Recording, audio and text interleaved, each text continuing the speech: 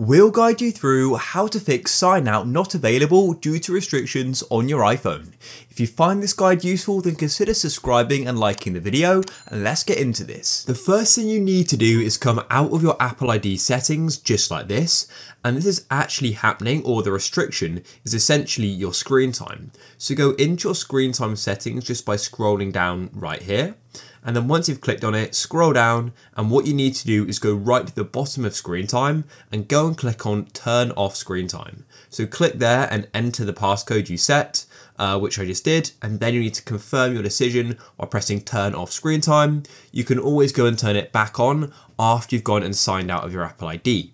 So after you've gone and signed after you turn off screen time, then just go back to your settings and then go to the top and click on your Apple ID and then scroll down and the sign up button should now be available.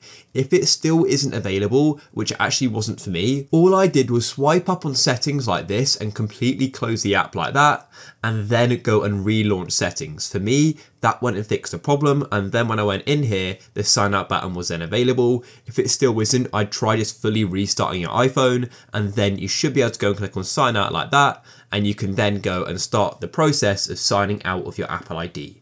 If you found this guide useful, then please consider leaving a like.